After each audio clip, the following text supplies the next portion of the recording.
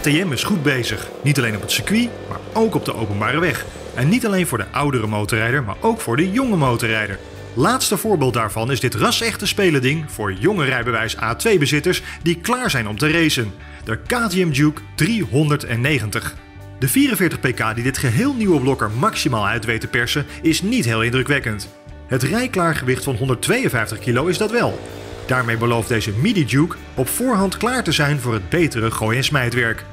Maar laten we eerst even kijken naar het wonderschone uiterlijk van deze Oostenrijkse hertog. Want niet alleen de gewaagde hoekige lijnen van huisdesigner Kiska strelen het oog, ook het vakwerkframe en de manier waarop de hele motor afgewerkt is, is buitengewoon fraai. Als vanzelfsprekend heeft de 390 een upside down in de kroonplaten geklemd, neemt een radiaal gemonteerde vierzuigerklauw de enkele remschijf venijnig in de tang en is de achtervork zeg maar binnenste buiten gekeerd. En dat geldt ook voor de rijeigenschappen. Met het flitsende, rachscherpe stuurgedrag van de 390 kun je zwaardere motoren aardig in de weg zitten. Want de 390 Duke laat zich meestelijk snel en eenvoudig door de geasfalteerde stadsjungle geleiden. Toch is het stuurgedrag lekker neutraal en daardoor niet nerveus. De vering is soepel van karakter zonder zachtaardig te zijn en de Bybre-remmen vertragen alsof het Italiaanse Brembo's zijn.